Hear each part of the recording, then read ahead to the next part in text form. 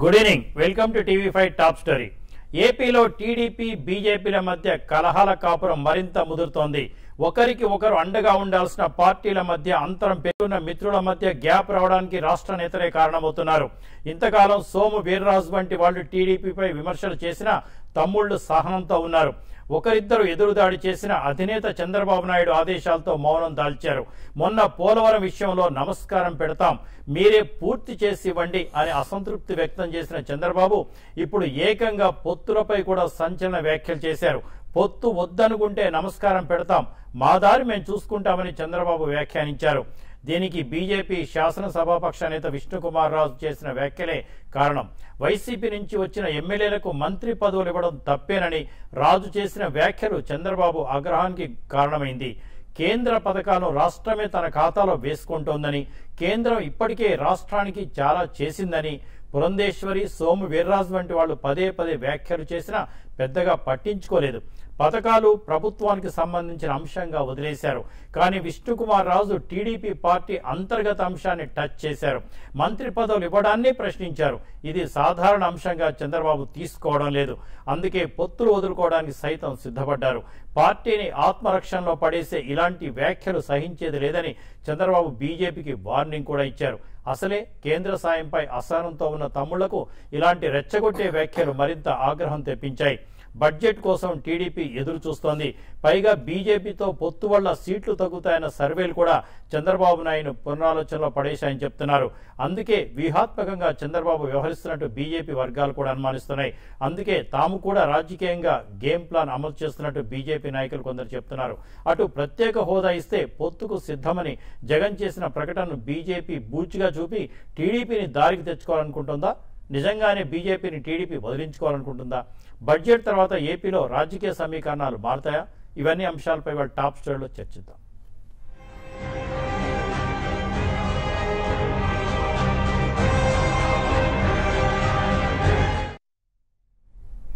ఇవే అంశాలపై మనతో మాట్లాడడానికి కొండ రాఘవరెడ్డి గారు ప్రముఖ వైసీపీ నేతలు మన స్టూడియోలో ఉన్నారు. అలాగే లక్ష్మీపతి రాజా గారు బీజేపీ అధికార ప్రతినిధి విజయవాడ స్టూడియో నుంచి దిలీప్ శంకర్ గారు మన స్టూడియోలో ఉన్నారు. మరికొద్దిసేపట్లో లింగారెడ్డి గారు మాజీ ఎమ్మెల్యే ప్రొద్దుటూరుకు చెందిన ప్రముఖ నాయకులు కార్పొరేషన్ చైర్మన్ మనతో జాయిన్ అవుతారు. రాజా గారు నమస్కారం. నమస్కారం ఇది దాదాపు అంటే తొంభై తొమ్మిది నుంచి రెండు వేల నాలుగు వరకు తెలుగుదేశం పార్టీ పరిస్థితి వారేం చెప్తే మీరు అది చేసేవాళ్ళు. చంద్రబాబు నాయుడు గారు ఢిల్లీ వస్తున్నారు అంటే అద్వానీ గారు వాజ్పేయి గారు లాంటి ప్రముఖ నాయకులు మొత్తం కూడా అటు అన్ని పనులు మానేసి చంద్రబాబు నాయుడు గారితో మీటింగ్ అవ్వడానికి ఊళ్ళూరేవారు. ఒక విధంగా చెప్పాలంటే ఇప్పుడున్న పీయూష్ గోయల్ గారు చంద్రబాబు నాయుడు గారితో ఫోటో దిగటానికి దాదాపు రెండు గంటలు వెయిట్ చేసిన విషయం నేను స్వయంగా చూశాను. అప్పుడు చంద్రబాబు నాయుడు వేరు. ఆయన ఇరవై తొమ్మిది సీట్లతో మీ ప్రభుత్వం నడిచేది అక్కడ. కానీ ఇప్పుడు చూస్తున్నట్టయితే చంద్రబాబు నాయుడు మీరు వదిలించుకుందాం అనుకుంటున్నారా? లేక మిమ్మల్ని చంద్రబాబు నాయుడు వదిలించుకుందాం అనుకుంటున్నారా? ఎందుకంటే మీకు రెండు వందల ఎనభై రెండు సీట్లు ఉన్నాయి కాబట్టి ఎన్డీఏ అవసరం లేదు. భారతీయ జనతా పార్టీ పూర్తి స్థాయిలో మెజార్టీ ఉంది కాబట్టి ఇది భారతీయ జనతా పార్టీ ప్రభుత్వం అనుకోవాలి. ఒక పక్కన శివసేన మిమ్మల్ని వదిలేసుకుంది. ఇంకో పక్కన చంద్రబాబు నాయుడు మీకు దండం అంటున్నారు. అంతేకాకుండా మీకు విశ్వ హిందూ పరిషత్ పూర్తి స్థాయిలో భారతీయ జనతా పార్టీకి సపోర్ట్గా ఉంటుంది. దానికి ప్రవీణ్ తొగా తొగాడియా గారు కూడా భయపడిపోతున్నారు. పార్టీ అతన్ని సంపాలని ఢిల్లీ పెద్దలు చూస్తున్నారని చెప్తున్నారు. ఒక్కొక్క మిత్రపక్షం వదులుకుంటున్న ఈ తరుణంలో అసలు ఏం జరుగుతుంది? భారతీయ జనతా పార్టీలో మీ ఆత్మవిశ్వాసం ఉండొచ్చు కానీ అతి విశ్వాసానికి కారణాలేంటి నమస్కారం.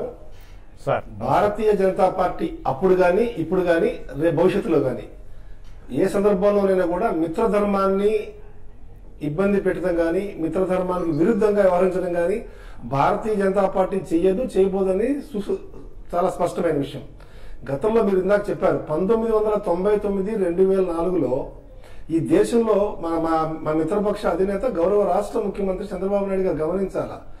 అలిపిరి దగ్గర వారి యొక్క కారు నక్సలైట్ల బాంబు బ్లాస్ట్ అయితే భారతీయ జనతా పార్టీ యాక్చువల్గా ఆంధ్రప్రదేశ్కి ఉప ఎన్నికలు పోవాలి అదే మన మధ్యంతర ఎన్నికలు పోవాల్సిన సందర్భంగా అప్పుడున్న పరిస్థితులు కానీ కొంతమంది నాయకుల ఒత్తిడి కానీ లేకపోతే ముఖ్యమంత్రి చంద్రబాబు నాయుడు గారి యొక్క కోరిక మేరకు భారతీయ జనతా పార్టీ కేంద్ర ప్రభుత్వాన్ని కూడా రద్దు చేసుకుంది సార్. అది అది అది మర్చిపోకూడదు. ఇప్పుడు ఎందుకు మాట్లాడారో మా మిత్రపక్ష అధినేత నాకు అర్థం కావట్లా. ఇది చాలా అంటే నేను నేనే ఉన్నానంటే నాకు వ్యక్తిగతంగా గౌరవ ముఖ్యమంత్రి మిత్రపక్ష అధినేత చంద్రబాబు నాయుడు గారి వ్యాఖ్యలు దురదృష్టకరమైనవి. వారు ఏ సందర్భంగా చేశారో నాకైతే అర్థం కావటం లేదు. నేను చెప్పింది ఏ. కళా వెంకట్రావు గారు ఏ ఉప ముఖ్యమంత్రిలో ఏ మంత్రుల్లో ఏ ఎంపీలో ఎమ్మెల్యేలో ఇప్పటిదాకా మా మీద రాజా గారు రాజా గారు విష్- విష్ణు. కుమార్ విష్ణు కుమార్ రాజు గారు వైసీపీ. ముఖ్య నాయకులతోటి. పత్రికా సమావేశం పెట్టి ఈ వ్యాఖ్యలు చేశారు ఇదే తెలుగుదేశం పార్టీ ఎంపీలు తెలుగుదేశం పార్టీ సెంట్రల్లో మినిస్టర్స్ కాంగ్రెస్ దగ్గర సోనియా గాంధీ గారిని పక్కన కూర్చోబెట్టుకొని మీ పార్టీ మీద వ్యాఖ్యలు చేస్తే మీరు ఒప్పుకుంటారా సరే సార్ ఒక్క నిమిషం సార్ ఇది మనం చాలా క్లియర్గా ఇది రికార్డ్ ఎవిడెన్స్ నేనేదో విష్ణు కుమార్ రాజు గారిని ఇంకోళ్ళు కవర్ చేయట్లేదు బీజేపీని మా పార్టీని.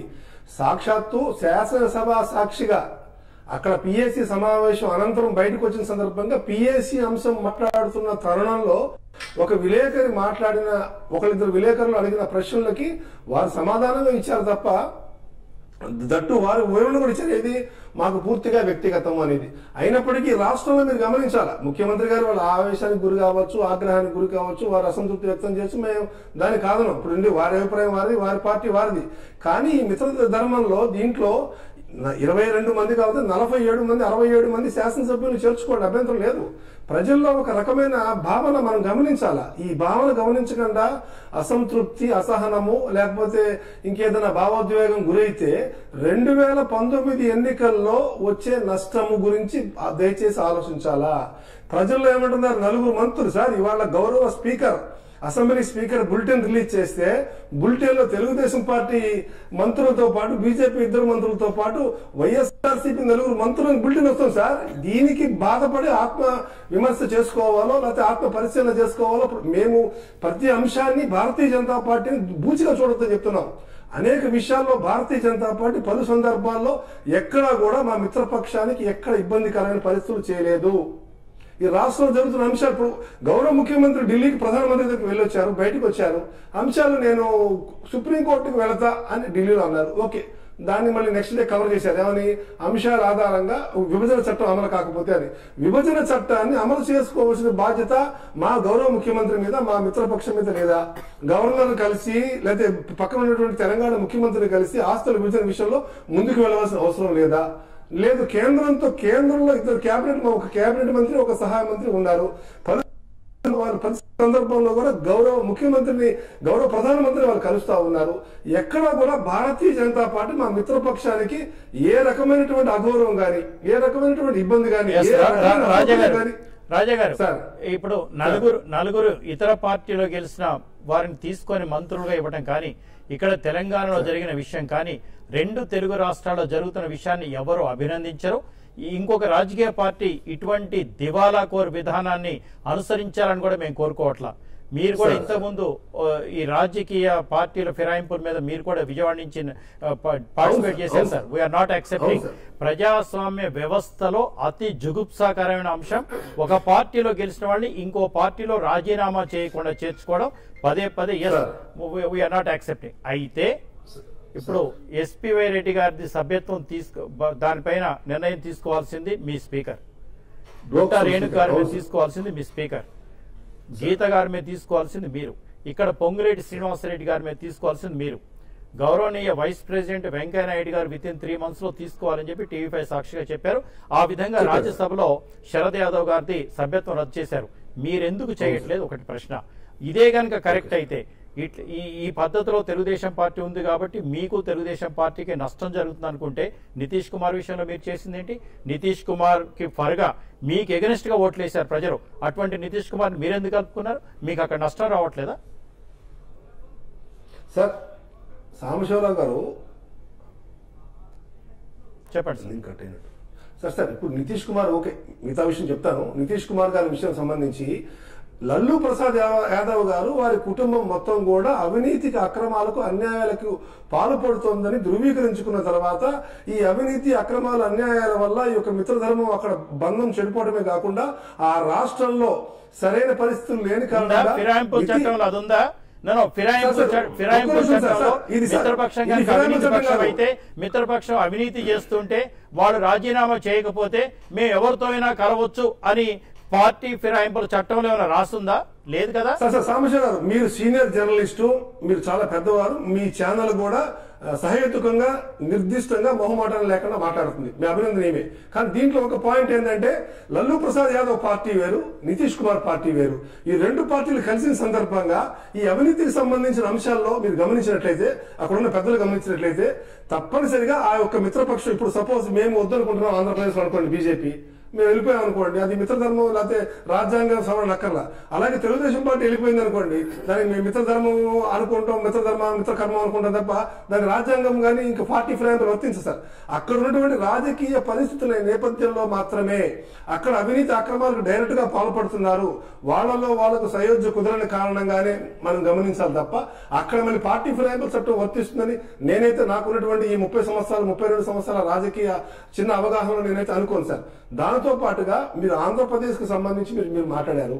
ఆంధ్రప్రదేశ్లో అనేక అంశాలకు సంబంధించి ఇప్పుడు స్పీకర్ విషయంలో గౌరవ పార్లమెంట్ సభ్యులు గనక గౌరవ వెంకయ్యనాయుడు గారు మొన్న ఏదైతే తీర్పు ఇచ్చారో ఆ తీర్పు ఇవ్వడమే కాకుండా టీవీ ఫైవ్ సాక్షిగా ఆదర్శంగా ఉండండి అని చెప్పిన తరుణంలో మేమే గనక ముందు తొందరపాటు గనక స్పీకర్ గారు గనక నిజంగా మనం కొన్ని విషయాలు ఓపెన్గా మాట్లాడుకోక తప్పదండి. స్పీకర్ గారు లోక్సభ స్పీకర్ గనక ఆమోదించినట్లయితే తప్పనిసరిగా మా మిత్రపక్షం ఆ రోజే మాకు శత్రుపక్షం అయిపోయింది. ఆ నిమిషంలోనే ఇది బీజేపీ మమ్మల్ని మిత్రద్రోహం చేసిందని ఇంకోటి డైరెక్ట్ అనుకోని ఇంకోటి అనేది. కానీ మేము గౌరవ స్పీకర్. సార్ అరవై ఏడు మందిని చేర్చుకోండి ఇంక్లూడింగ్ జగన్మోహన్ రెడ్డి. మాకు అభ్యంతరమే లేదు. మేము దాంట్లో తప్పు పట్టాం కానీ నలుగురు మంత్రులు బులెటిన్లో రావడం ద్వారా ప్రజల్లో ఏమొస్తుందో గమనించవలసిన అవసరం ఉంది. పదే పదే గౌరవ ముఖ్యమంత్రి గాని మంత్రులు గాని గతంలో కూడా అనేక మన పోలవరం ప్రాజెక్టు విషయంలో ఏమన్నారు? మీకు నమస్కారం అన్నారు. ఇది నమస్కారానికి ప్రతి నమస్కారమే తప్ప మేము అదే. అనుకుంటాం తప్ప రాజా గారు. ముఖ్యంగా ఈ రోజు ఆంధ్రప్రదేశ్లో భారతీయ జనతా పార్టీ తెలుగుదేశం పార్టీ కలిసికట్టుగా రెండు వేల పద్నాలుగులో కలిసి పోటీ చేసి అధికారంలోకి వచ్చారు. ఇక్కడ అక్కడ కూడా రెండు పార్టీలు అధికారాన్ని పంచుకుంటున్నాయి. అయితే ఇప్పుడున్న పరిస్థితుల్లో ఆంధ్రప్రదేశ్లో సోమ్ వీర్రాజు గారు అలాగే పురంధేశ్వర్ గారు ఇతరత్ర ముఖ్య నాయకులంతా కూడా తెలుగుదేశం బీజేపీ మిత్రబంధాన్ని ఎప్పుడు తెంచుకుందామా అని చూస్తున్నారు. అయితే లక్ష్మీపతి రాజా గారు మాత్రం చంద్రబాబు నాయుడు గారే ఈ పనికి పూనుకుంటున్నారని చెప్పారు. ఒకరిద్దరు తెలుగుదేశం పార్టీ నాయకులు కూడా భారతీయ జనతా పార్టీతో పొత్తు ఇష్టం లేదు. అయితే పోలవరం లేదా ప్రత్యేక హోదా ఇతరత్ర కారణాలు చెప్పి ఎప్పుడెప్పుడు వేరుపడదామా అని చూస్తున్నట్టుగా పరిశీలకులు భావిస్తున్నారు. ఉన్నట్టుండి జగన్మోహన్ రెడ్డి గారు ప్రత్యేక హోదా ఇస్తే ఆ పార్టీతో కలిసి పనిచేయడానికి అభ్యంతరం లేదు అని ప్రకటించిన తర్వాత అనేక మార్పులు సంభవిస్తున్నాయి. నిజంగా రాబోయే ఎన్నికల్లో ఎవరు ఎవరితో పొత్తు పెట్టుకుంటారు ఎవరు ఎవరితో ఉంటారన్న విషయాలు మనం మాట్లాడుకుంటున్నాం. రాఘవరెడ్డి గారు ముందుగా మా జాతీయ అధ్యక్షులు ప్రతిపక్ష నాయకులు. వైఎస్ జగన్మోహన్ రెడ్డి గారు ఇడుపులపాయ నుంచి ఇచ్చాపురం వరకు చేస్తున్నటువంటి ప్రజా సంకల్ప పాదయాత్ర ఇవాళ వెయ్యి కిలోమీ వెయ్యి కిలోమీటర్ల మైలురాయి దాటిన సందర్భంగా వారికి శుభాకాంక్షలు తెలుపుకుంటూ ఇది చంద్రబాబు నాయుడు గారు ఒక కొత్త ఎపిసోడ్ మళ్ళీ స్టార్ట్ చేశాడు సరే విష్ణు కుమార్ రాజు గారు ఏమన్నారు? పురంధరేశ్వరి గారు ఏమన్నారు? నేను ఆ- జోలి జోలికి పోదలుచుకోలేను ఇక జగన్మోహన్ రెడ్డి గారు ఏదో కొత్తగా మాట్లాడిన మాట కాదు ఇది. ఇంతకుముందు ఎన్నో ఛానళ్ళలో మన తెలుగు ఛానల్లో కూడా డైరెక్ట్గా స్పష్టంగా క్లారిటీ ఇచ్చిండు చెప్పిండు. ఎవరైతే ప్రత్యేక హోదా ఇస్తారో వాళ్ళకి ఖచ్చితంగా మా మద్దతు ఉంటుంది కలిసి పోటీ చేస్తామనో ఒకటే ఇద్దరం కలిసి కండువాలు కప్పుకుంటామని ఎక్కడా చెప్పలేదు. తను చెప్పింది ఏంటంటే ఎవరైతే ప్రత్యేక హోదా ఇస్తారో వాళ్ళకు మా మద్దతు సంపూర్ణంగా ఉంటుంది తెలంగాణ ఆంధ్రప్రదేశ్లోనే మాట. ఇప్పటికీ నాలుగు సార్లు ఐదు సార్లు చెప్పింది. ఇవ్వని ఇవ్వని భారతీయ జనతా పార్టీ కూడా మద్దతు ప్రకటించారు మీరు. అదే ఇస్తే. ఇవ్వని పార్టీకి మీరు ఆల్రెడీ ప్రకటించారు. ఎప్పుడు? రాష్ట్రపతి ఎన్నికల్లో మీరు మద్దతు ఇచ్చారు. ఉపరాష్ట్రపతి ఎన్నికల్లో మద్దతు ఇచ్చారు. డిమాంటేషన్ డిమాంటేషన్ వ్యతిరేకంగా మీరు ఏం చేయలేదు. జిఎస్టీకి వ్యతిరేకంగా ఏం చేయలేదు. ఆ ప్రభుత్వం చేపట్టే నాలుగు ముఖ్యమైన కారణ కా- ముఖ్యమైన దాంట్లో మీరు నా- నాలుగిట్లో కూడా మేము ప్రణబ్ ముఖర్జీ గారికి మమ్మల్ని జైల్లో పెట్టినటువంటి ప్రణబ్ ముఖర్జీ గారి పార్టీకి మేము ఆ రోజు జైలు నుంచి పోయి ఓటేసి వచ్చినాం. రాష్ట్రపతి అంటే ఒక గౌరవమైన పదవి. యునానిమస్గా రావాలనే ఆలోచన ఉంటుంది తప్ప ఎయిటీ పర్సెంట్ ఒక దిక్కు ఓట్లుండి ట్వంటీ పర్సెంట్ ఒక దిక్కు ఓట్లున్న దిక్కు అక్కడ రాజకీయం చేసిందంటే వాళ్ళు ప్యూర్గా పూర్తిగా ఒక రకమైనటువంటి ఉద్దేశంతో చేసేటోళ్ళు చేస్తారు తప్ప మా నాయకుడు చాలా స్ట్రాటజిక్గానే ఉంటాడు. అప్పుడు ఇచ్చిన ఇక వెంకయ్య నాయుడు గారు మన తెలుగు బిడ్డ. యునానిమస్గా రావాలని చెప్పి చెప్పేటటువంటి పరిస్థితి ఉంటుంది అక్కడ. అదొక అదొక ప- పద్ధతి. కానీ ఇక్కడ ఇవాళ నాలుగు సంవత్సరాలు తిరుపతి తిరుమల దేవస్థానం తిరుమలలో చెప్పినటువంటి మాటలన్నిటి తుగలు దొక్కి ఎప్పుడన్నా చంద్రబాబు వైఎస్ జగన్మోహన్ రెడ్డి గారు అసెంబ్లీలో కావచ్చు లేక ఉద్యమాలు చేసేటప్పుడు కావచ్చు ఎక్కడన్నా ఏదన్నా మాట్లాడితే అసలు అనుభవం లేదు జగన్మోహన్ రెడ్డి గారికి. నేను లౌక్యంగా పోతా నేను అట్లా ఉరుకులాడి గలవడితోని కాదు. నేను నిదానంగా పోయి నేను మద్దతు తెచ్చుకొని అక్కడ నుంచి నేను ఫండ్స్ తెచ్చుకుంటా అని చెప్పినటువంటి ఈ పెద్ద మనిషి ఇవాళ ఎందుకు ఇంత ఫ్రస్ట్రేషన్లు ఉండో ఎందుకు ఇంత ఉలిక్కి పడుతుండో ఎందుకు దండాలు పెడుతుండో అర్థమైతలేదు ఈ ప్రాబ్లం ఏంది? ఇలా కొత్త కొత్త డ్రామాకు తెరదేసే ప్రయత్నం తెలుగుదేశం చేయకూడదు. నాలుగు సంవత్సరాలు అయిపోయింది. ఇప్పుడు దింపుడు కల్లం ఆశ. నువ్వు ఇయ్యాల దాగేస్తా బిడ్డాని సంగతి ఏందో చూస్తా నేను సుప్రీంకోర్టు కోతా నేను రెడ్డి చేత దండం పెడతా ఇగో వాళ్ళు గిట్లన్నారు నన్ను గిల్లిర్రు. ఈ మాటలు ప్రజలు గ్రహిస్తారు ప్రజలకు అర్థమైపోయింది. నువ్వు నాలుగు సంవత్సరాలు ఎందుకు కేంద్ర ప్రభుత్వం మీద దాడి చేసి తీసుకురాలేకపోయినవు? బతిమిలాడి తీసుకురాలేకపోయినవు? ఏమనంటే ముప్పై రెండు సార్లు పోయినా నలభై నాలుగు సార్లు పోయినా అరవై నాలుగు సార్లు పోయినా ఆయన ఒక ఆయన ప్ర- ఢిల్లీలో ప్రత్యేక దూత ఉన్నాడు మన ప్రా- మన ఆంధ్రప్రదేశ్ రాష్ట్రానికి. ఆయనకు ఖాళీ ట్రాన్స్పోర్ట్ ఈ కాడికాడ అక్కడ తిరగడానికి ప్రయాణ ఖర్చులు డెబ్బై రెండు లక్షలు ఎనభై లక్షలు అయినాయండి వీళ్ళు ఏం చేసారు ఇలా భారతీయ జనతా పార్టీ మీద వైఎస్ఆర్ కాంగ్రెస్ పార్టీ మొదటి నుంచి కూడా పోరాడదామనే ఆలోచనలోనే ఉంటుంది. కానీ ఇక్కడేముంది మీరెవరు? ముఖ్యమంత్రి. మీరు ముఖ్యమంత్రి అక్కడ మంత్రులు ఇక్కడ మంత్రులు. ఉండి మీరు జూగోతులు ఆడుకుంటా ప్రజలను మోసం చేసుకుంటా ఇవాళ కొత్తగా మళ్ళా ఒక ఎపిసోడ్కు తెరదేసే ప్రయత్నంలో భాగమే ఈ దండాలు ఈ సుప్రీంకోర్టు కోతమనే మాటలు. ఇవాళ వాళ్ళ ఇద్దరి మధ్యన పొరిపొచ్చులు వచ్చినాయని చెప్పి ఇబ్బందులు పడేటటువంటి మాటలు మాట్లాడే పరిస్థితికి వచ్చారంటే ఏకైక కారణం ఆ రోజు ఆరు వందల యాభై అబద్ధాలాడి ముఖ్యమంత్రి అయినాం. ఇవాళ వరకు కూడా ఆ అబద్ధాల పునాదుల మీదనే ముఖ్యమంత్రిగా కొనసాగుతున్నాం. ఇవాళ జగన్మోహన్ రెడ్డి గారు ఇడుపులపాయ నుంచి ఇచ్చాపురంకు ప్ర- పాదయాత్ర చేస్తా ఉంటే ఐదో జిల్లాకు వచ్చే వరకు ప్రజలు బ్రహ్మరథం పడుతున్నారు బ్రహ్మరథం పట్టడం ఒకటే కాదు వేల లక్షల వినతులు వాళ్ళ దగ్గరికి వెళ్ళి వస్తున్నాయి. చివరకు రేషన్ కార్డు రాలేదు మాకు ఈ నాలుగు సంవత్సరాల నుంచి తిరుగుతుంటే అనేటటువంటి వినతులు వస్తాయి. అరవై డెబ్బై సంవత్సరాలు ఉన్నటువంటి వ్యక్తులకు. లింగారెడ్డి గారు మీ టర్న్ వస్తుంది. మీకు టర్న్ వచ్చినప్పుడు మీరు మాట్లాడినప్పుడు నేను కూర్చుంటా. దయచేసి వినాలి. మీకు వినే ఓపిక ఉండాలి. ఎందుకంటే మీరు ప్రభుత్వంలో ఉన్నారు. అక్కడ ప్రభుత్వం ఉన్నారు ఇక్కడ ప్రభుత్వం ఉన్నారు. ఈ ఆంధ్రపు తట్టు కొట్లాట ఎందుకు?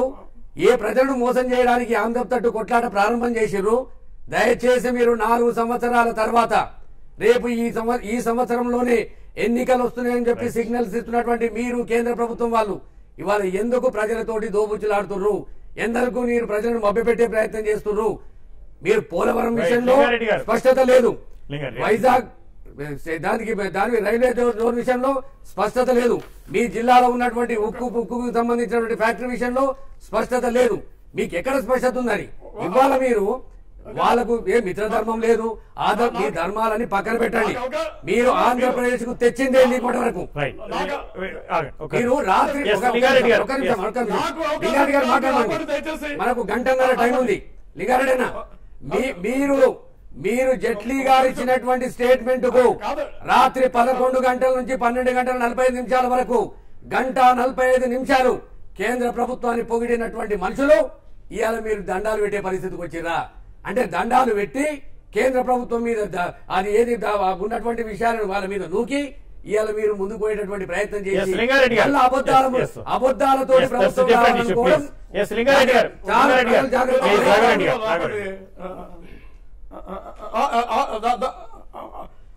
ఆయన ఆపండి ఆయన ఆపండి Yes, ఒకటి మీరు దయచేసి వాళ్ళు వాళ్ళిద్దరు మాట్లాడినప్పుడు నేను నేను వాళ్ళు మాట్లాడుకో ఒక్క మాట కూడా మాట్లాడలేదు.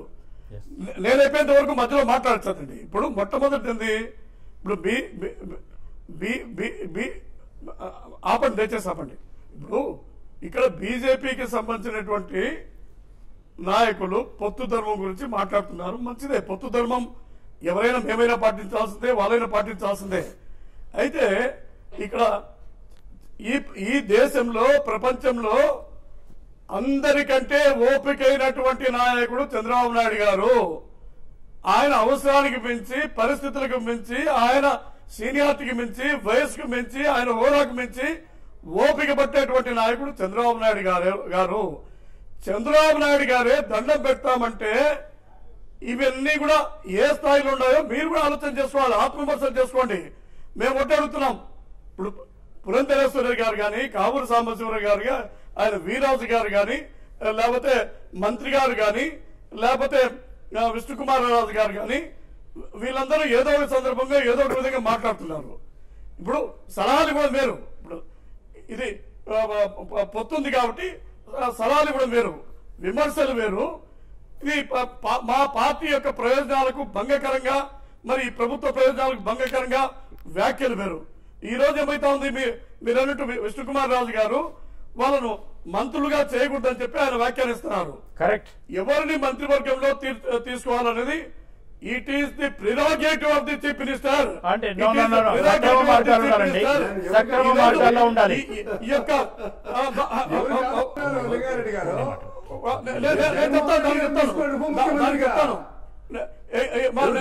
చెప్తాను ఒకటి అది అది కాదు అది కాదు. ఈరోజు గుజరాత్ గుజరాత్లో రాజ్యసభ ఎలక్షన్లో ఏమైందండి? వేరే వేరే? కాంగ్రెస్ పార్టీ పిల్లలు తీసుకోలేదు అక్కడ అక్కడ ఈశాన్య రాష్ట్రాల్లో ఈశాన్య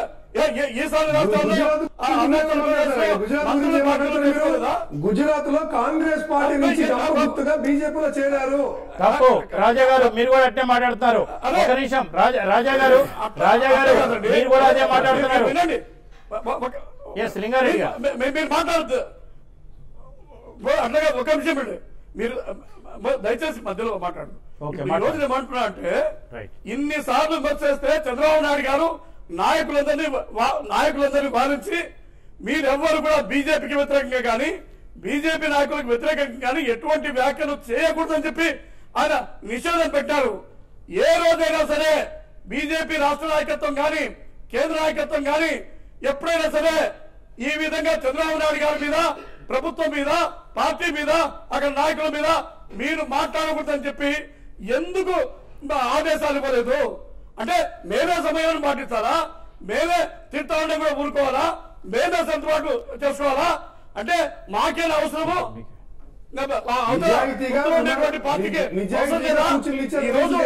శివసేన ఒక నిమిషం ఒక నిమిషం. వా- నేను మాట్లా నేను మాట్లాడతాను మాట దయచేసి. ఎక్కడైనా. తప్పు చెబితే నేను ఖండించాలా? మాట్లాడుకోవచ్చు లైవ్లో అట్- అట్లా కాదండి. కాదండి ఏ మీరు చేస్తారు చెప్పండి. నేను మీరు ఎప్పుడు మీరు కొత్తదేమో పాటించారా సమన్వయ కాదండి. కమిటీకి మీరు పిలిచారా ఏ సందర్భంగా మీరు రాష్ట్ర బీజేపీ శాసనసభ. పక్షాన్ని ఆహ్వానించారా. మీరు మమ్మల్ని పిలిచిందే లేదు. ఒక శివరాత్రి పిలిచారు. దేనికి పోలవరం మీరు- నిధులు ఆగిపోయిన కారణంగా మీరు- ఢిల్లీకి పోయి అడగండి అని జన్మకు ఒక శివరాత్రి నాలుగు రాజా గారు. మూడున్నర నో, లక్ష్మీపతి రాజా గారు. లక్ష్మీపతి రాజా గారు కొంచెం ఓపిక పట్టాలి. మీకు తెలుసు రూల్స్ రెగ్యులేషన్స్. ఎవరికి దయచేసి వారే మాట్లాడండి. నేను ఎయిట్ థర్టీ వరకు ఎయిట్ థర్టీ వరకు టైం ఉంది. రాజా గారు. జస్ట్ ఇది హైకోర్టు ప్రొసీడింగ్స్. లాగా ఉండాలి. ఒకరి మీద ఒకరు దయచేసి మాట్లాడద్దు. లింగారెడ్డి గారు ప్లీజ్ కంటిన్యూ. ఇప్పుడు ఇప్పుడు నేను నేను డిసిప్లిన్గా ఒక కట్టుబాట్లు ఉన్నాను. మీరు మీరు మాట్లాడారు ఒక్క మాట మాట్లాడారు మాట్లాడండి అంటే ఈ ఈ రోజు మా- మా- ఆ- మా- ఆ- ఆ- కా- కాదు కాదండి. ఆయన వీరాజ్ గారు మాట్లాడుతున్నారు? మీరు మీరు పొత్తుదనం పాటించలేదు.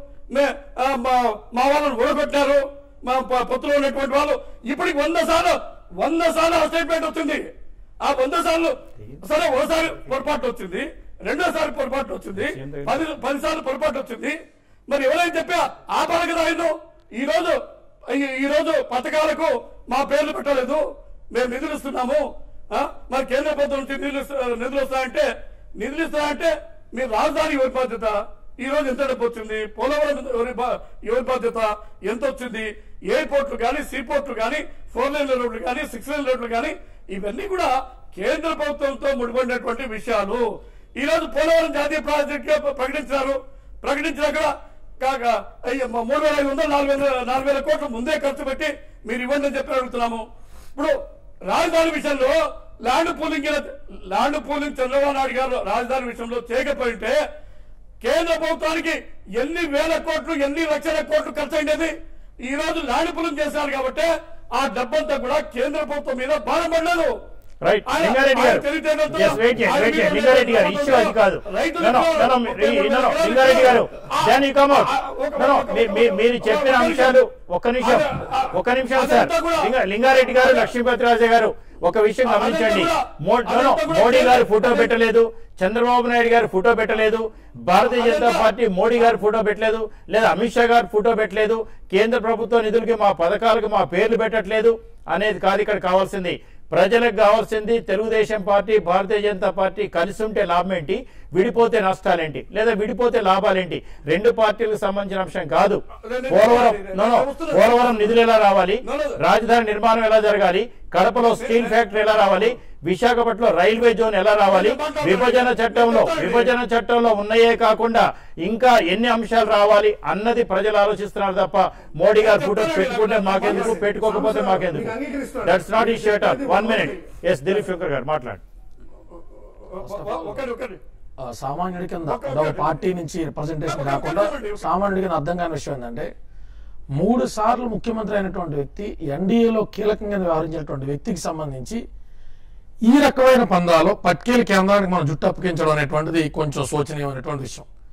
రెండు పార్టీలు అధికారం కోసం ఇక్కడ కొట్టుకుని సమస్యలు పట్టుకెళ్ళి కేంద్రానికి ఎస్కలేట్ చేస్తే బిల్లి బిల్లి లడేంగేతో బందరాకి లేకే చెలేంగే అన్నట్టు సంబంధం లేకుండా వాళ్ళ కేంద్రానికి మనం జుట్టు అప్పగించడం మాత్రం ఒక సామాన్య పౌరుడి కింద అయితే మాత్రం బాధ కలిగించేటువంటి విషయం. సరే మనం సహకరించాం. రాజకీయాలు అంటే ఎవరు మనకు రెడ్ కార్పెట్ వేయరు. హైవేలో మనం టాప్ గేరేస్కి వెళ్ళిపోతాం అంటే కమాన్ కళ్యాణ్ దిలీప్ వచ్చి బేవారం ఎమ్మెల్యే అయిపోయిన ఎవరు అలాంటి ముఖ్యమంత్రి పరిధి ఎట్లా అంటారు సార్? ఎన్నో కుయుక్తులు ఉంటాయి యుక్తులు ఉంటాయి టార్గెట్లు ఉంటాయి. కానీ ఇంత స్టూప్ డౌన్ లెవెల్కి వెళ్ళడం అనేటువంటిది బాధ కలిగించే విషయం. స్పష్టంగా అమిత్ షా గారు వచ్చి విజయవాడ నడిబొడ్డులో ఉండి రెండు లక్షల అరవై మూడు వేల కోట్లు మీకు ఇచ్చామన్నప్పుడు కూడా టీడీపీ బాధను దిగమింకున్నటువంటి విషయం ప్రజలందరూ గమనించారు.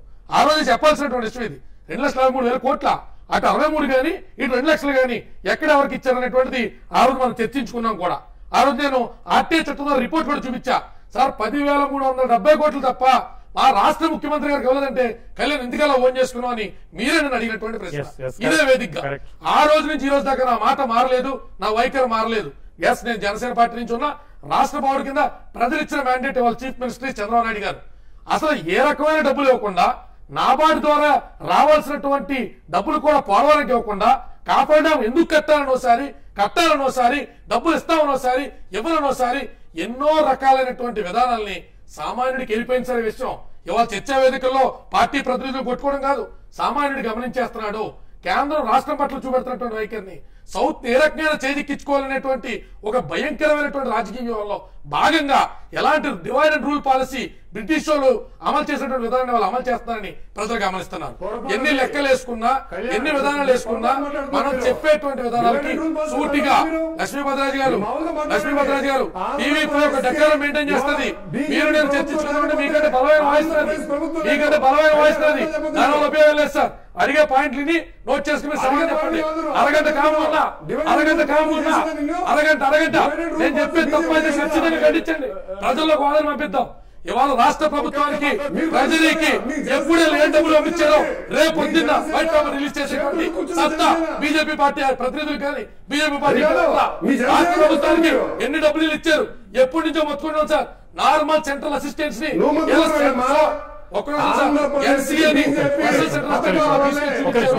కేంద్ర ప్రభుత్వ సహాయం వల్లే. తప్ప రాజా గారు నేను ఒక దిలీప్ గారు నేను వన్ మినిట్లో క్లోజ్ చేస్తాను తర్వాత మీ దగ్గరికి వస్తాను సార్. నేను మీ దగ్గరికి వస్తాను. నో దిలీప్ దిలీప్ శంకర్ గారు చాలా పెద్ద విషయం చెప్పారు. పది వేల ఏడు వందల కోట్లు మాత్రమే వచ్చాయి. రెండు లక్షల ముప్పై ఆరు వేల కోట్లు అమిత్ షా గారు చెప్పారు. రెండు లక్షల అరవై వేల కోట్లు వచ్చినాయని లేదు సార్. నేను టీవీ ఫైవ్లో డిస్కషన్ చేశాం సార్. రెండు లక్షల అరవై వేల కోట్లు వచ్చాయని చెప్పి చెప్తే దిలీప్ శంకర్ గారు ఆ రోజున ఒక ఇంటర్నెట్లో చూసి పదివేల ఏడు వందల కోట్లు మాత్రమే వచ్చాయని చెప్పారు. అయితే ఆ రోజు నేను డిఫర్ అయ్యాను. ఆ రోజు నేను డిఫర్ అయ్యాను. బీజేపీకి సపోర్ట్ వచ్చాను. అమిత్ షా లాంటి వాళ్ళు అంత ఈజీగా మాట్లాడరు. ఈ చెక్ ఇట్ అని చెప్పాను. ఆయన ఇప్పుడు చెక్ చేసుకొని వచ్చారట. ఒక్క నిమిషం వెయిట్ చేయండి సార్ నేను మీకే ఇస్తాను. ఎస్ సార్ ఆ రోజు నుంచి ఈ రోజులకి విడతల వారీగా వీళ్ళు ఇచ్చినటువంటి డబ్బులు లక్ష కోట్లు రెండు లక్షల కోట్లు పేపర్ల మీద తప్ప విడతల వారిగా కూడా ట్రెజరీకి చేరింది లేదు సార్.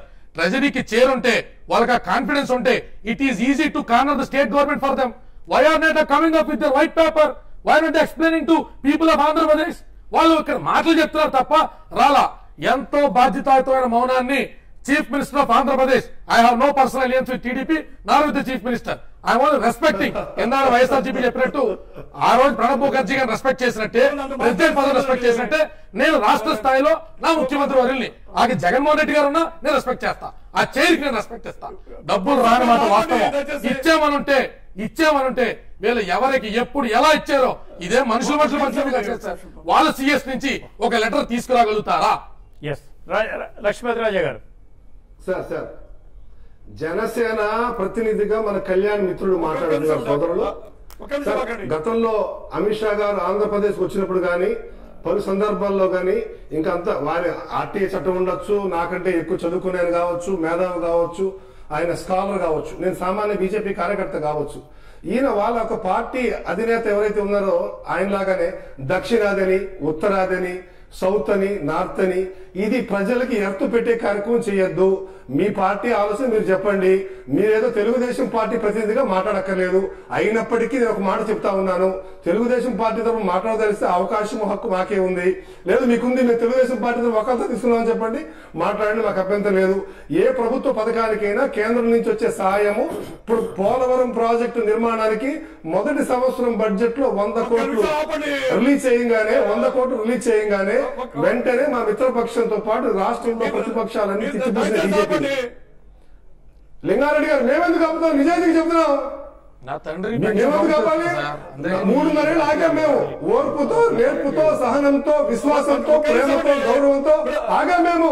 ఇంకా మా నోరు మూసేసి బుర్రంతా కూడా కేంద్రంలో నరేంద్ర మోడీ రాష్ట్రానికి ఏం చేయలేదు. మోడీ పాపం ఆంధ్రప్రదేశ్కి శాపం చెప్తారు మీరు? జనం చూస్తున్నారండి. ఇవాళ మేము రాష్ట్ర ప్రభుత్వాన్ని ఈ సందర్భంగా అడుగుతా ఉన్నాం గౌరవ ముఖ్యమంత్రి. ఓకే మా నుంచి మీకు ఏమీ ఒక రూపాయి రాలేదు. కేంద్రం నుంచి పథకాల ద్వారా ఎంత వచ్చింది? ప్రభుత్వానికి ఎంత వచ్చింది? అమరావతికి ఎంత వచ్చింది? పోలవరానికి ఎంత వచ్చింది? ఆంధ్రప్రదేశ్లో ఉన్నటువంటి సంస్థలకు ఎంత వచ్చింది? ఇరవై నాలుగు ఇంటూ సెవెన్ కరెంట్కి ఎంత వచ్చింది? ఈ రాష్ట్రంలో ఎనిమిదిన్నర లక్షల ఇళ్ళకి మేము ఇచ్చామా లేదా? ఈ రాష్ట్రంలో పేదవాడికి ఉచితంగా గ్యాస్ కనెక్షన్స్ మేము ఇస్తున్నాం ఏమి ఇవ్వకంటానే మీరేమో డబ్బులు ఇవ్వంటారా మీరేమో లక్ష అరవై వేల కోట్లు అప్పులు చేశామంటారా మీరేమో అబద్ధంతో మేమే చేశామంటారా డబ్బు లేకుండా కేంద్రం సహాయం ఇవ్వకుండా ఎక్కడి నుంచి అభివృద్ధి జరుగుతుంది? ఈ ఈ ధనమంతా కేంద్ర సహాయమే. అమరావతికి మూడు వేల ఐదు వందల కోట్లు ఇస్తే ఎక్కడ ఖర్చు పెట్టారు? రాజ్భవన్ ఇస్తే ఎక్కడ ఖర్చు పెట్టారు? హైకోర్టుకి ఇస్తే ఎక్కడ ఖర్చు పెట్టారు? మేము అడిగామండి. మేము అడిగామా ఎప్పుడన్నా మేము విమర్శించామా మిత్ర ధర్మాన్ని మేము పాటిస్తూనే ఉన్నాము. మాది త్యాగాల పార్టీ. ఏ రోజు భోగ పార్టీ కాదు మాది. మేము తెలుగుదేశం పార్టీ కోసం ఎనభై మూడులో ఎన్టీ రామారావు గారిని నాదన ఆ రోజు బీజేపీ ఉన్నది. మీకు నష్టం వస్తే బీజేపీ ఉన్నది. మిమ్మల్ని చేపట్టుకు నడిపిస్తుంది బీజేపీ. ఆంధ్రప్రదేశ్ అభివృద్ధి విషయంలో కానీ తెలుగుదేశం పార్టీ. భారతీయ జనతా. పార్టీ ఏ రోజు మడమ తిప్పలేదు మాట తప్పలేదు. కానీ కానీ. మీరు సాక్షాత్తు మీరు వద్దు వద్దంటూనే ముఖ్యమంత్రి గారు మేము నాకు మ- నమస్కారం దండం సుప్రీంకోర్టుకి వెళ్తా మీ దగ్గర ఉంటే మీ దగ్గర ఉంటే మీ మంత్రులు కేంద్రంలో మాతో ఉన్నారు మా మంత్రుల కింద మేము ఫీల్ అవుతాం సుజనా చౌదరి గారిని గారిని గారు మంత్రులు feel రాజా అవుతున్నారు. గారు మీరు రాజా. గారు విత్ డ్యూ రెస్పెక్ట్? ఒక్క నిమిషం సార్. ఒక్క సెకండ్. రాజా గారు. లింగారెడ్డి గారు లింగారెడ్డి గారు ఒక్క నిమిషం ఆగండి. లింగారెడ్డి గారు ఒక్క నిమిషం. రాజా గారు రాజా గారు ప్లీజ్ అర్థం. నో లింగారెడ్డి. గారు ఆపండి ఆపండి అంటున్నారు. ఏం ఆపాలి మేము? మీ ఇద్దరి మధ్య పొత్తు ఆపాలా? లేకపోతే టీవీ ఫైవ్ డిబేట్ ఆపేయాలా? లేకపోతే ఏం ఆపాలి మేము? దయచేసి వారు మాట్లాడుతుంది మీరు ఎమ్మెల్యేగా చేశారు. ఇప్పుడు ఇంపార్టెంట్ చైర్మన్గా ఉన్నారు. ఒక రూలింగ్ పార్టీకి ప్రతినిధిగా ఉన్నారు. ప్లీజ్ నోట్ చేసుకోండి. మీ టర్మ్ వచ్చినప్పుడు మాట్లాడండి. ఇది అసెంబ్లీనో శాసన మండలో కాదు సార్. దయచేసి ఒకరి మీద ఒకరు మాట్లాడుకోవద్దు. ఇప్పటికే ప్లీజ్ లింగారెడ్డి గారు కంటిన్యూ చేయండి. ఇక్కడ వినండి. మీరు వినండి నేను మాట్లా వాళ్ళు మాట్లాడినప్పుడు నేను మాట్లాడలేదు. మీరు టైం ఇచ్చినప్పుడు మాట్లాడాలి. You know no they are not yielding. What can I do మరి మే- వా- మా- మరి ఆపాలి కదా మరి? ఆపాలంటే ఆపాలంటే వాళ్ళు మాట్లాడిన వాళ్ళు మాట్లాడిన తర్వాతే ఆపుతా నేను. మధ్యలో ఎట్లా ఆపుతాను నేను? ప్లీజ్ మీరు కంటిన్యూ చేయండి. లింగారెడ్డి గారు ప్లీజ్.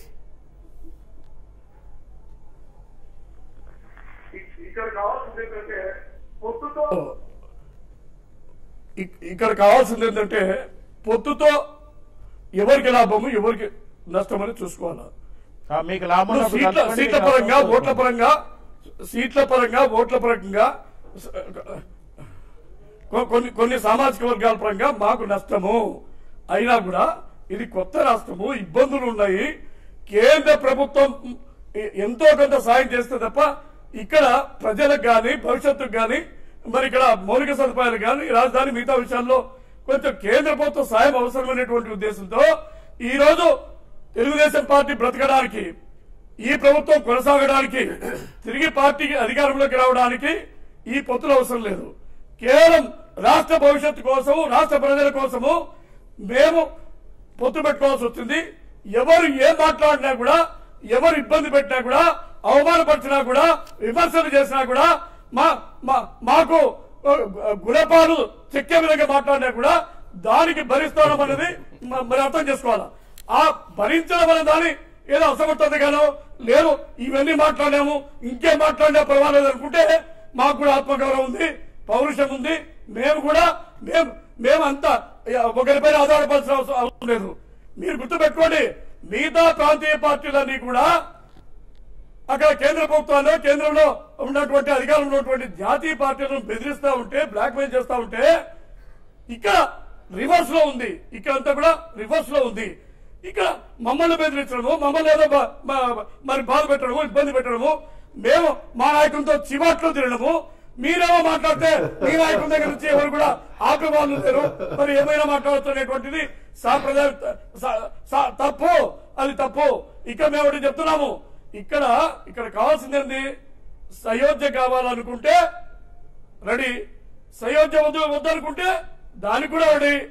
అందుకు ఇందుకు తెలుగుదేశం పార్టీ సంసిద్ధతగా ఉంటుంది ఎప్పుడు కూడా. అది మీ యొక్క వ్యవహారాన్ని బట్టి వ్యవ- వ్యవహార శైలి బట్టి మీ యొక్క ప్రవర్తనను బట్టి ఇచ్చిపుచ్చుకునేటువంటి ధోరణి బట్టి ఉంటుంది. అది వద్దో కావాలో చెప్పండి. మీరు వద్దనుకునేటప్పుడు అంత మేము బ్రతిమాలి ఏదో దేహి అని అనుకోవాల్సినటువంటి ఆ ఇబ్బంది ఏం పట్టలేదు తెలుగుదేశం పార్టీకి. ఎప్పుడు మా కూడా నుంచి అదే సమాధానం ఉంటుంది. మా నుంచి కూడా మీరు ఏదైతే ఆత్మగౌరవాన్ని తగ్గించుకోవాలి. మమ్మల్ని మీ నాయకులు మా మోడీ గారు మేము మేము- భరించాము మా. దుష్టములు రాష్ట్రంలో చర్యలు తీసుకోలేదు మాట్లాడలేదు ఒకటి. మీరు అన్ని మీకు ఒక్కరికే గౌరవం మీ ఒక్కరికి మర్యాద మాకు గౌరవ మర్యాద ఉంది మీరు ఇన్ని మాట్లాడుతున్న మా రాష్ట్ర బీజేపీ అధ్యక్షుడు ఏ రోజు ఒకటండి, మాట్లాడలేదు. మీరు- దేనికైనా కొంత మేము విలువలతో కూడిన రాజకీయం బీజేపీ మా- ఫోటో పెట్టకపోయినా పర్లేదు.